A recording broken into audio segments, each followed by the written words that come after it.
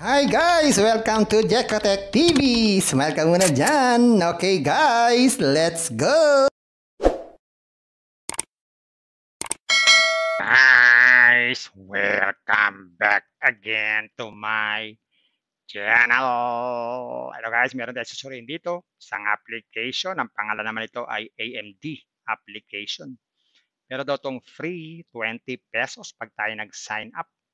At pwede tayo kumita sa mga chips at mag-withdraw every day.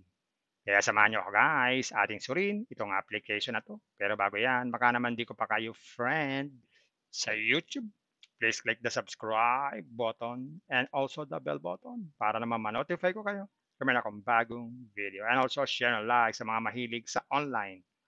At sa mga nandyan na gusto magsuri, pwede rin mag-register, magsuri Maganda nga yan, marami nagsusuri sa sari-saring application na lumalabas sa ating internet world. Again, dito commercial, hindi rin to promotion, hindi rin to advertisement, sadya lamang sinusuri natin ang sari-saring application na lumalabas minu-minuto sa ating internet world. Kaya, let's go na! So guys, ito yung application nila. So mag-register muna tayo or mag-sign up muna tayo. Click natin tong me. So, hindi pa tayo pwede mag-sign in, mag-register muna tayo. Click natin tong go to register. Yan, maglagay lang tayo dito ng mga information.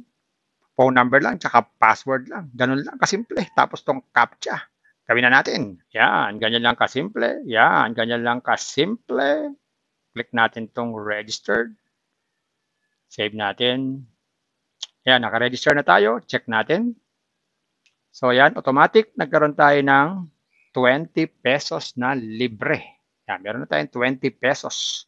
So wala na ibang libre. So ito lang ang libre, itong 20 pesos. Ang tanong, paano ito umiikot? Itong application na to, paano kumikita dito? Check natin yung kanilang mga inaalok na investment dito sa home. Yan. So ito yung mga inaalok nilang investment. Pinakamaliit na investment ay 300 pesos kikita raw ng 75 pesos every day. So, ibig sabihin, 4 days lang, bawi na ang puhunan. Ang kita mo lang yung 20 pesos na sign up. Wow, wow, wow, wow. Ang susunod naman dito ay 600 pesos. 156 naman po ang daily niyan. Ganun din, apat na araw, bawi ang puhunan, may tubo pa. Kwak, kwak, kwak, kwak. Susunod naman ay 1, 2. Ganun din, 324 ang everyday nakita. 4 days, bawi ang puhunan. Tangananganangananganang. 60 days yan. Agawin lang, click lang itong buy. Yan, tapos buy. Yan, lalagin tayo sa Gcash. Click natin itong next. Yan, scan itong QR code. Mag-transfer ng fund. Ayun. Meron na tayong investment. Ngayon, check natin magkano ang minimum withdrawal dito. So, walang nakalagay. Magkano kaya ang minimum withdrawal? So, sabi dito, ang withdrawal ay wala. Ano kaya? Pero no fee and unlimited and anytime pwede ito mag-withdraw. So, click nga natin. Ayun pala, ang minimum withdrawal ay 100 pesos. So, hindi pa tayo pwedeng mag-withdraw. Mag-aantay pa tayo para maging 100 dyan. Okay? Ngayon, para makaging 100 dyan na walang investment, mag invite po tayo. Share nyo lang yung link. Pero kung ayaw mag-invite, kailangan taga mag-invest. No investment, no kita. So meron din sila ditong about us para magbasa-basa tayo kung anong klaseng application to at account record, recharge record, and withdrawal record. Bago mag-withdraw, lagay lang dito yung add bank card. At pwede mag-download ng application para mabilis makapag-login at sign out pag ayaw natin sa application na to. Sa add bank card, ganito lang, click lang yan. Ayan guys, nakita natin itong AMD. Totoo naman, meron siyang 20 pesos. Kaya lang, hindi pwedeng basta-basta withdrawin. Kailangan pa mag-invest. Guys, investment na naman to. Kaya paalala muli, bago mag-invest, think twice, mag-search, magtanong-tanong bago mag-invest, and invest at your own risk, invest what you can afford. Tulos lamang po sobrang pera ang ating invest. Huwag yung ating pangkabuhayan, pambiling bigas, pambiling ulam, pan tuition fee, at lalo-lalo na, huwag po tayong maungutang. At sa pampaalala, ang ganito mga application, minsan tumatagal, pero minsan sandaling-sandali lamang. Kagaya nitong application na to. Ang hula ko dito ay tatagal ito ng tatlo apat na araw Pag lumagpas dyan, swerte na tayo. Kaya maging maingat sa ating pag-invest. At kung wala tayong pang-invest, at kung wala tayong pang-invest, at kung wala tayong pang-invest, kung may free, sa free na lang muna tayo. Kung may free, sa free na lang muna tayo. At sa pampalala, ang ganito mga application, minsan tumatagal, pero minsan sandaling sandali lamang. Kaya maging maingat sa ating pag-invest. Paring paalala, sabi po sa 1 Timothy chapter 6 verse 10, For the love of money is a root of all kinds of evils, is true this craving that some have wandered away from the faith and pierced themselves with many pangs. Totoo po ito. Ang pera naman ay hindi masama. Yan ang ginagamit natin sa pang-araw-araw natin uh, buhay, pambili ng bigas, ulam, sapatos at iba pa. Pero ang babala dito ay yung pag-ibig sa pera. Pag tayo po umibig na sa pera, maaari tayong makagawa ng sari-saring kasamaan.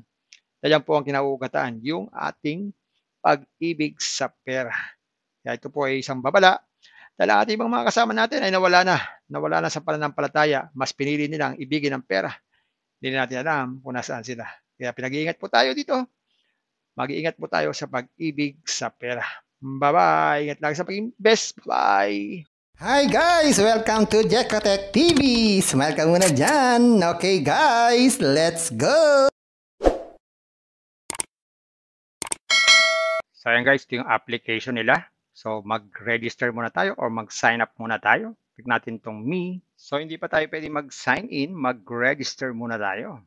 Click natin tong go to register. Yan, maglagay lang tayo dito ng mga information phone number lang, tsaka password lang. Ganun lang kasimple. Tapos tong captcha. Gawin na natin. Yan, ganyan lang kasimple. Yan, ganyan lang kasimple. Click natin tong registered. Save natin. Yan, naka-register na tayo. Check natin. So yan, automatic. Nagkaroon tayo ng 20 pesos na libre. Yan, meron na tayong 20 pesos. So wala na ibang libre. So ito lang ang libre, itong 20 pesos. Ang tanong, paano ito umiikot? Itong application na to, paano kumikita dito? Check natin yung kanilang mga inaalok na investment. Dito sa home, yan. So ito yung mga inaalok nilang investment. Pinakamaliit na investment ay 300 pesos. Kikita raw ng 75 pesos every day. So ibig sabihin, 4 days lang bawi na ang puhunan. Ang kita mo lang yung 20 pesos na sign up. Wow, wow, wow, wow. Ang susunod naman dito ay 600 pesos. 156 naman po ang daily niyan. Ganun din, apat na araw, bawi ang puhunan, may tubo pa. Kwak, kwak, kwak, kwak. Susunod naman ay 1, 2. Ganun din, 324 ang everyday na kita. 4 days, bawi ang puhunan. Tanganangananganang. 60 days yan. Agawin lang, click lang tong buy. Yan, tapos buy. Yan, lalagin tayo sa Gcash. Click natin tong next. Yan, scan tong QR code, mag-transfer ng fund. Ayun. Meron na tayong investment. Ngayon, check natin magkano ang minimum withdrawal dito. So, walang nakalagay. Magkano kaya ang minimum withdrawal? So, sabi dito, ang withdrawal ay wala. Ano kaya? Pero no fee and unlimited and anytime pwede itong mag-withdraw. So, click nga natin. Ayun pala, ang minimum withdrawal ay 100 pesos. So, hindi pa tayo pwedeng mag-withdraw. Mag-aantay pa tayo para maging 100 dyan. Okay? Ngayon, para makaging 100 dyan na walang investment, mag invite po tayo. Share nyo lang yung link. Pero kung ayaw mag-invite, kailangan taga mag-invest. No investment, no kita. So, meron din sila ditong about us para magbasa-basa tayo kung anong klaseng application to at account record recharge record, and withdrawal record. Bago mag-withdraw, lagay lang dito yung add bank card. At pwede mag-download ng application para mabilis makapag-login at sign out pag ayaw natin sa application na to. Sa add bank card, ganito lang, click lang yan. Kung may free, sa free na lang muna tayo. Kung may free, sa free na lang muna tayo. At sa pampalala, ganito mga application, minsan tumatagal, pero minsan sandaling sandali lamang. Kaya maging maingat sa ating pag-invest. Paring paalala, sabi po sa 1 Timothy chapter 6 verse 10, For the love of money is a root of all kinds of evils, is true this craving that some have wandered away from the faith and pierced themselves with many pangs. Totoo po ito. Ang pera naman ay hindi masama. Yan ang ginagamit natin sa pang-araw-araw natin uh, buhay, pambili ng bigas, ulam, sapatos at iba pa. Pero ang babala dito ay yung pag-ibig sa pera. Pag tayo po umibig na sa pera, maaari tayong makagawa ng sari-saring kasamaan. Yan po ang kinauugataan, yung ating pag-ibig sa pera. Kaya ito po ay isang babala dahil ating mga kasama natin ay nawala na. Nawala na sa pananampalataya. Mas pinili nilang ibigin ang pera. Hindi natin alam kung nasaan sila. Kaya pinag-iingat po tayo dito. Mag-iingat po tayo sa pag-ibig sa pera.